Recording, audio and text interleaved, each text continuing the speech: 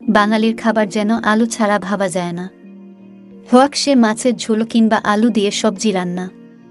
সব তরকারিতে অল্প অল্প করে আলু দিলে যেন স্বাদ বেড়ে যায় কয়েক গুণ, তবে আলু খেলেই মনে হয় মোটা হয়ে যাবেন। শরীর খারাপ হবে। ইত্যাদি চিন্তা থেকে আমরা আমাদের প্রতিদিনের রুটিন থেকে আলু বাদ দিয়ে দেই। তবে প্রতিদিনের রান্না থেকে আলু বাদ দেওয়া উচিত। কিন্তু এতই যদি ক্ষতিকর হয় এই খাদ্য, তবে কেন তা রান্নায় ব্যবহার করার চল রয়েছে? আসুন জেনে নেই আলু খাওয়ার কিছু উপকারিতা। রক্তচাপ নিয়ন্ত্রণ করে আলু। রক্তচাপ নিয়ন্ত্রণে রাখে সোডিয়ামযুক্ত খাবার। তার সঙ্গে পটাশিয়াম থাকলে আরও ভালো। এর সবটাই রয়েছে আলুতে। আলুতে রয়েছে প্রচুর পরিমাণ ফাইবার। তার সঙ্গে আছে ভিটামিন সি এবং ভিটামিন বি বারো।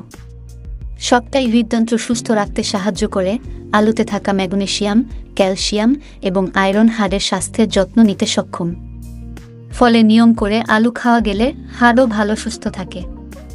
আলুতে থাকা ফাইবার হজম শক্তিও বাড়ায়, আলুর ভিটামিন এ এবং অ্যান্টিঅক্সিডেন্ট শরীরের রোগ প্রতিরোধ শক্তিও বাড়াতে সাহায্য করে, ফলে আলু খাওয়া নিয়ে সন্দেহ থাকলে এই খাদ্যের গুণ সম্পর্কেও ভেবে দেখা জরুরি।